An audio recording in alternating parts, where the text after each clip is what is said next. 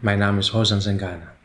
Wat ik doe, ik ben uh, vormgever, uh, kunstenaar, die uh, cultureel erfgoed vertaalt naar hedendaagse vormen, volumes.